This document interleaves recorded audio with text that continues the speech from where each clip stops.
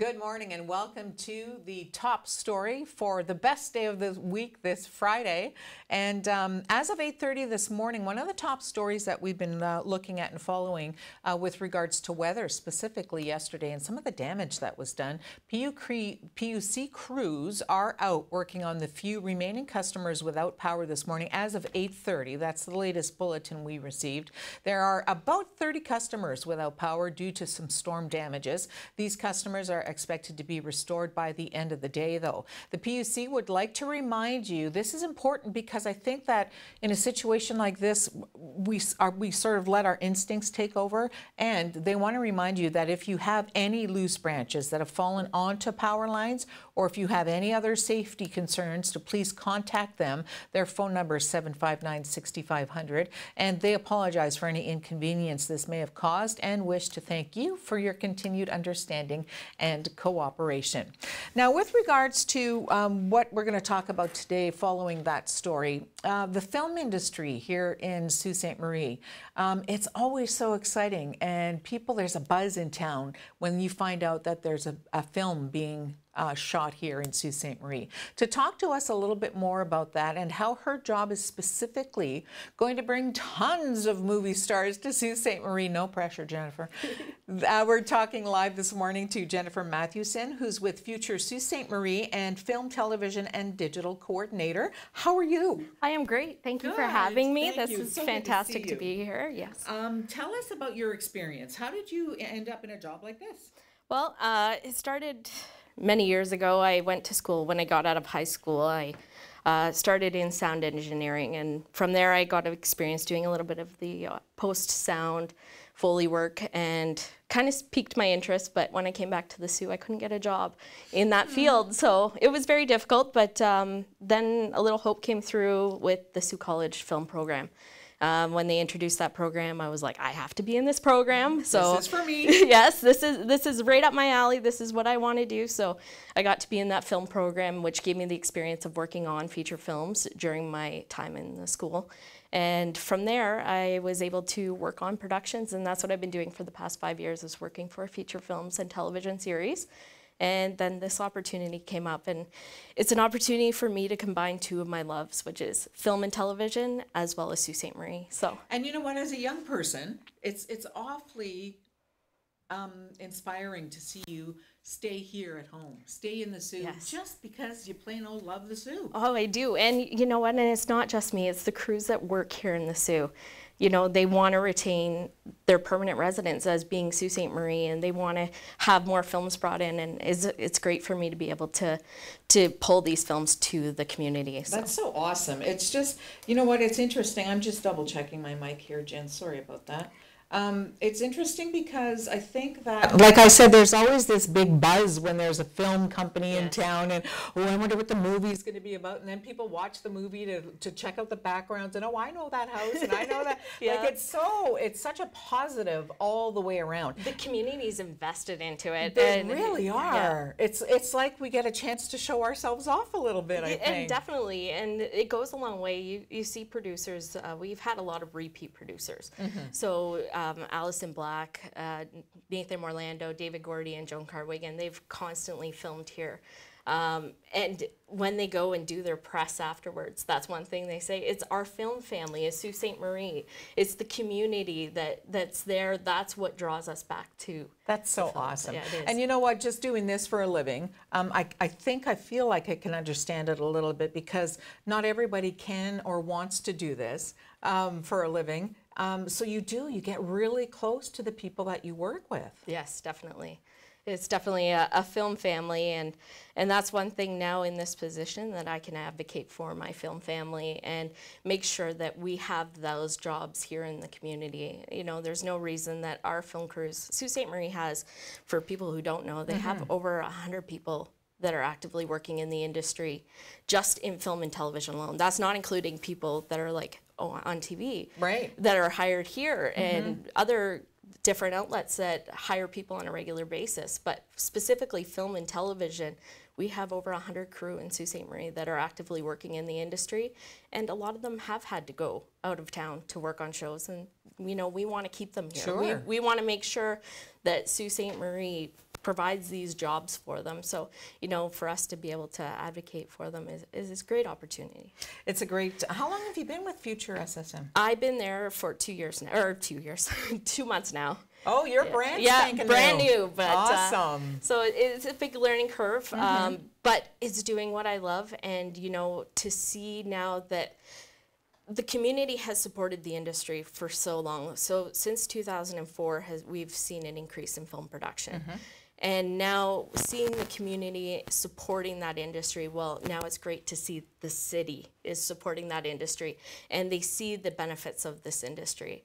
And that's great. Like uh, you look at feature films, for example, like people don't realize what a feature film brings into a community. Like the number of people that are employed on these shows locally, not only that, the people that they bring into the community to work in other areas that we can't yet fill. Um, these people are staying at our local hotels. Like the last film that shot here, they had 450 hotel nights at a local hotel, and that was only a small duration. That was from August to September. So they're staying at our hotels, they're eating at our local restaurants, they're visitors within the community. And you take a full feature film, and that ingests approximately a million dollars into the community.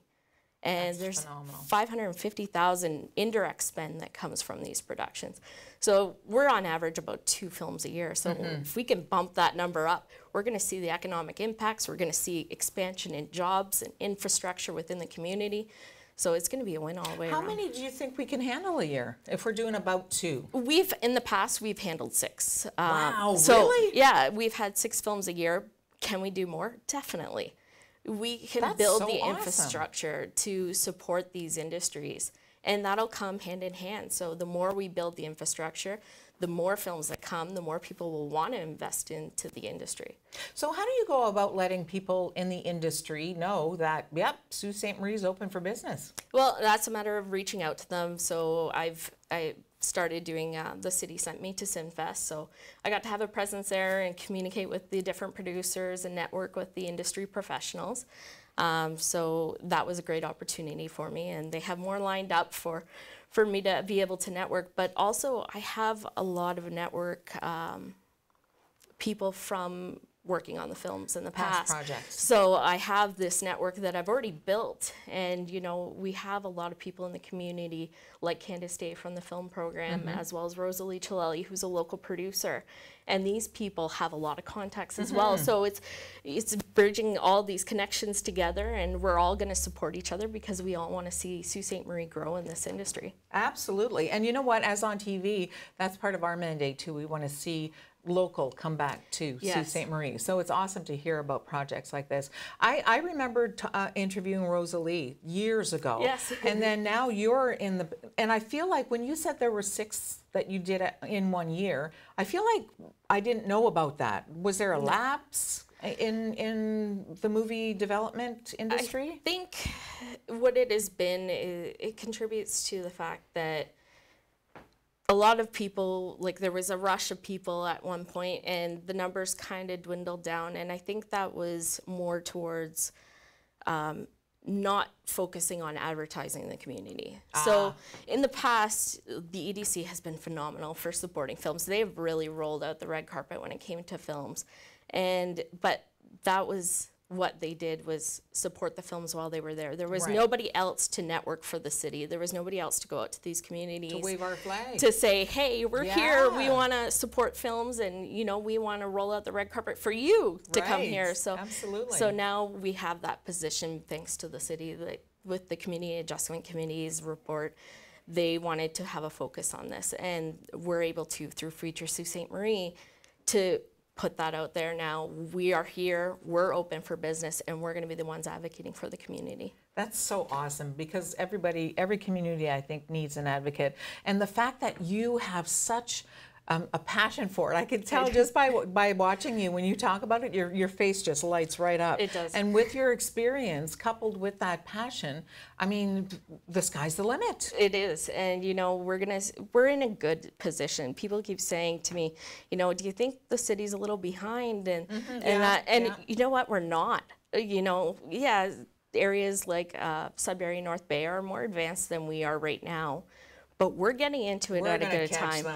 We're in on it in a time where people are binge watching. Like this is the binge watching era, Uh-huh. and there's more content being created now than there ever has been. So with that, and places like Sudbury and North Bay, they've had so much film.